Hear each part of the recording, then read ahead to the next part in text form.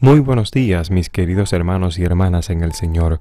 Mi nombre es Ariel Céspedes Vargas y hoy 4 de noviembre tengo el honor de hablarte del santo del día. Hoy la Iglesia Católica celebra el día de San Carlos Borromeo. Escuchemos qué podemos aprender de su vida.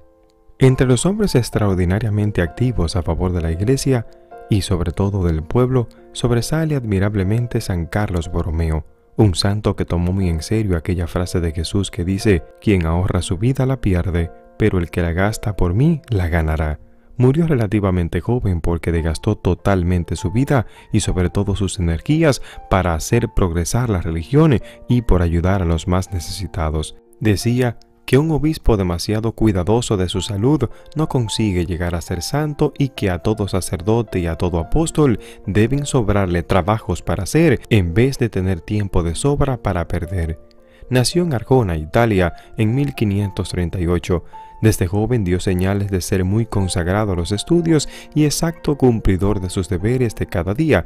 A los 21 años obtuvo el doctorado en Derecho en la Universidad de Milán, un hermano de su madre, el cardenal Medicis, fue nombrado papa con el nombre de Pío IV, y este admirado de sus cualidades nombró a Carlos como secretario de Estado, altísimo cargo para un hombre tan joven.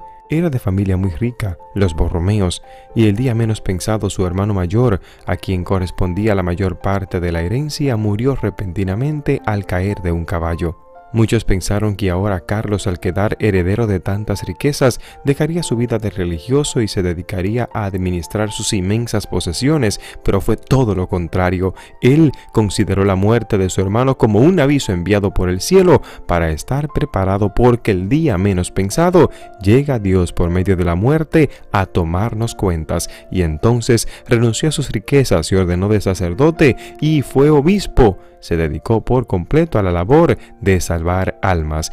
En 1520 habían aparecido ya los protestantes como una señal de descontento por ciertas faltas que había en la conducta de muchos en la Iglesia católica. Entonces el sumo pontífice invitó a todos los obispos de todo el mundo a una reunión que se llamó el Concilio de Trento.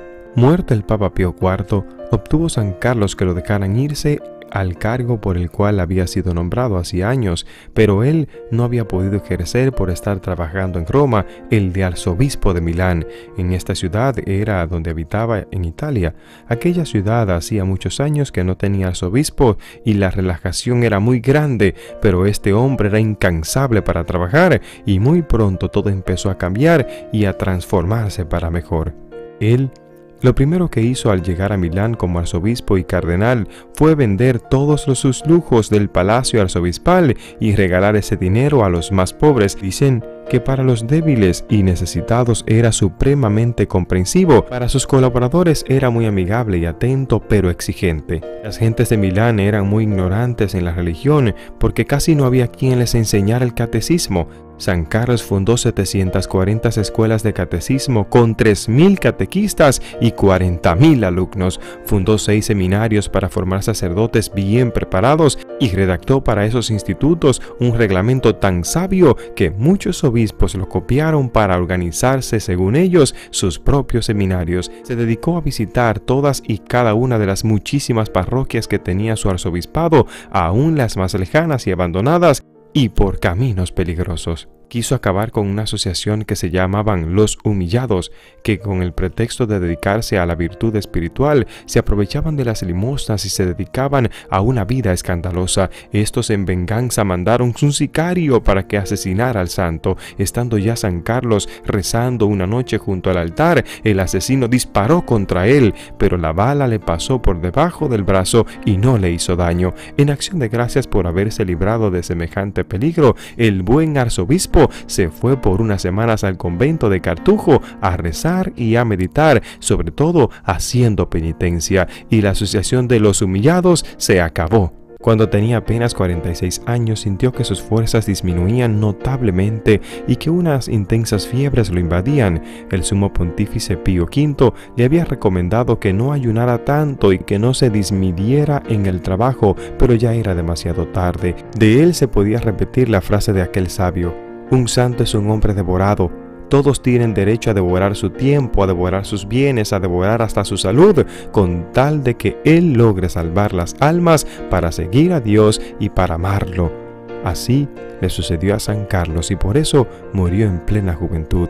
La noche del 3 al 4 de noviembre del 1584 murió diciendo, Ya voy, Señor, ya voy.